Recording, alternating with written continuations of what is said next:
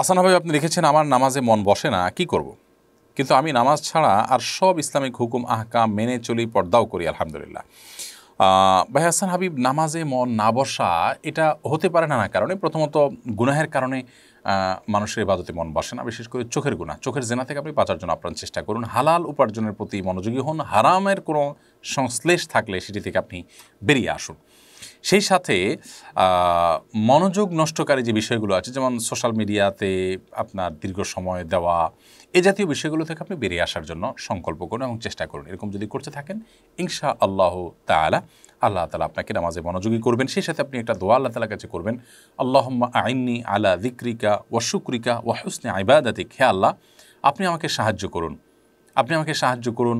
আপনার জিকির যেন আমি করতে পারি, আপনার শকর যেন আদায় করতে পারি এবং আপনার এবাদত যেন উত্তম উপায়ে করতে পারি। এই তফিক দান করুন। চমৎকার একটি দোয়া। প্রত্যেক নামাজের পরে এ দোয়া পড়া শুন না অতএব এটি আপনি পড়তে পারেন। আল্লাহ আইনি আলা দিক্রিকা ও শুক্রিকা ও হসনে আইবে আদাতিক সেই সাথে নামাজে আপনি দীর্ঘ সময় ব্যয় করার চেষ্টা করবেন। অর্থাৎ চার রাখাত নামাজ যদি আপনার সাধারণত পাঁচ সাত মিনিট লাগে, তো আপনি ইচ্ছাকৃত রুকু, সেজদা প্রত্যেকটা রোকনকে একটু দীর্ঘ করার চেষ্টা করুন এবং সেটাকে দশ বারো মিনিট আবার পারলে আর একটু লম্বা করার চেষ্টা করবেন। যত লম্বা করবেন, তত আপনার মনোযোগ অটোমেটিকলি ইনশাল্লাহ আসতে থাকবে। খান শাহ আলম, আপনি লিখেছেন আড়ি থেকে জায়গা বন্ধক রেখে টাকা নেওয়া কি বৈধ হবে?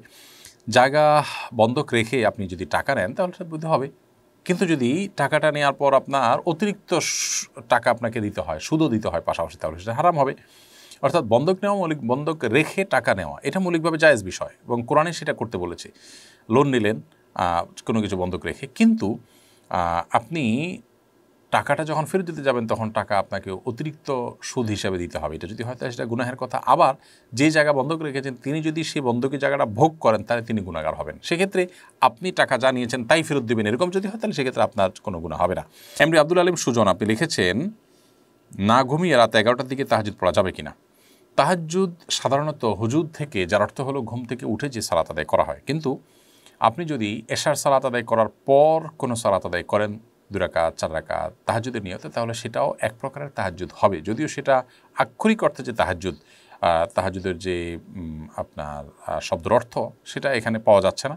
তারপরে এটা এক প্রকারের তাহাজুদ বা এটাকে কেয়ামুল্লাইল বা জেগে সালাত আদায় করা হিসাবেই বিবেচিত করা হবে।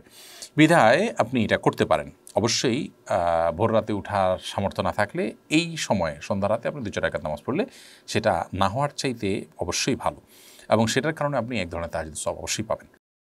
আসুন্না ফাউন্ডেশন, উম্মার স্বার্থে, সুন্নার সাথে।